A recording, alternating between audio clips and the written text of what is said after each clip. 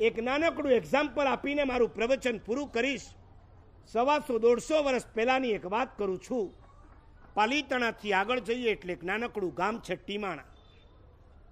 નામ સાંભળ્યું ટીમાણા? ટાણા સાંભળ્યું છે?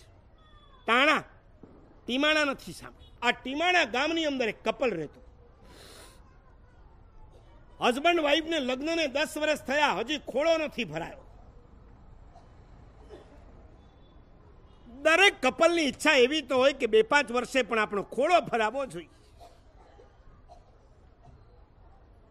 દસ વર્ષ થઈ ગયા, ઉંમર બત્રીસની થઈ ગઈ, બાવીસે લગ્ન કર્યા બત્રીસની ઉંમર છે, હજી સુધી એક સંતાન નથી. પતિ પત્ની પરમાત્માને પ્રાર્થના કરે, પ્રભુ અમારી ઈચ્છાને પૂરી કરશો.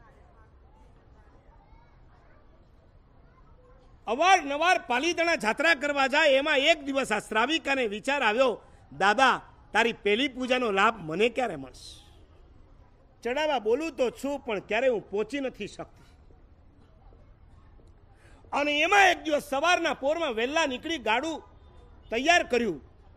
ઘરમાં બે બળદ છે, ગાય છે. એનું ઘાસ, એનું પાણી વગેરે ગોઠવી દીધું. બપોર સુધીમાં તમે પાછા આવી જશું. અને ગાડું જોડી પતિ પત્ની બંને જણા પાલીતાણા જવા નીકળ્યા. આજે દાદાની પહેલી પૂજા કરવી. ભાવ છે. ઘણા બહેનોને એવા ભાવ હોય છે, શંખેશ્વરનો પહેલો અભિષેક કરવો. હોય છે કે નથી હોતો? અને ઘણા દીકરા માની ઈચ્છા પૂરી કરતા પણ હોય છે. હસબન્ડ અને વાઈફને એમ છે કે આજે ચાલુ દિવસ છે. સાચું બોલો, સસ્તામાં પેલો અભિષેક મળી જાય. તમે રાજી? રાજી?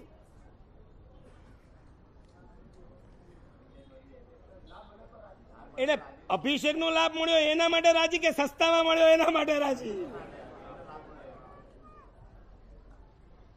બે જણાને આજે એમ છે કે આડો દિવસે પૂનમ નથી બેસતો મહિનો નથી રવિવાર નથી ચાલુ દિવસે નક્કી આજે આપણને દાદાની પહેલી પૂજા મળશે. સવાસો દોઢસો વર્ષ પહેલાની ઘટના બંને જણા ચડી રહ્યા છે. સૂર્યોદય થયો. હિંગળાજના હડા પાસે આવ્યા અને ત્યાં ટોળે ટોળા દેખાયા. અને આપણા કરતા પણ આ બધા આગળ કોણ વધી ગયા છે? ભાઈએ પૂછ્યું, ભાઈ, ક્યાંથી આવો છો? અમે સુરતથી છરી પાડતો સંઘ લઈને આવ્યા છે ખલાસ. બેનના મોતિયા મરી ગયા. આજે સંઘ લઈને આવ્યા હોય તો આજે પહેલો દાદાની પહેલી પૂજાનો ચડાવો કોણ લે? સંઘ પતિ જ લે. કાંઈ વાંધો નહીં. બેનને હોપ છે. શ્રદ્ધા છે try again try again if you fail try again આપણે ટ્રાય કરીએ. દાદાના દરબારમાં પૂજાના કપડે બધા ગોઠવાઈ ગયા છે. એક બાજુ સંઘપતિ, એક બાજુ આ ટીમાણાનો શ્રાવક શ્રાવિકા. અને પૂજારીએ ચડાવા બોલવાનું શરૂ કર્યું. એ જમાનો હતો પચાસ રૂપિયા, સો રૂપિયા, બસો રૂપિયા, પાંચસો રૂપિયા. શ્રાવિકા શ્રાવકને કહેતી જાય છે, બોલો છસો, બોલો આઠસો. બોલો હજાર. ઓલો બહુ સરળ જીવ હતો, એ કહેતો જાય ને બોલતો જાય. હજાર સુધી તો બરાબર. ત્યાં અગિયારસો બોલ્યા એટલે શ્રાવિકા જરા અટકી ગયા. શ્રાવકને પૂછે છે, આગળ બોલાશે? શ્રાવક કે, તું વિચાર. ત્યારે શ્રાવિકા કહે છે કે, આપણે બે જ જણા છીએ, આપણે વળી કમાઈને ખાવું કેટલું? એટલો પૈસો તો છે. એક કામ કરો, આપણી જે દુકાન છે ને ગામની, એને વેચી નાખશું અને એ પૈસાથી આપણે ચડાવો લેશું. બોલો બારસો. ભગવાન ખાતર સંસારને એવોઇડ કરે ત્યારે સમજજો કે ભીતરમાં સમ્યક દર્શન છે. મારી દુકાન વેચીને પણ હું પરમાત્મા તારી પૂજા કરીશ. બારસો અને સામેથી આવ્યો પંદરસો. સંગપતિ છે ને? વળી બેન ઢીલા પડ્યા.